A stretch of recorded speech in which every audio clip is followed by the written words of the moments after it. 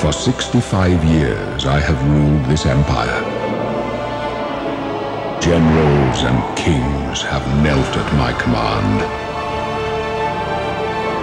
But a darkness comes. The blood tide rises. These are the closing days of the Third Era. And the final hours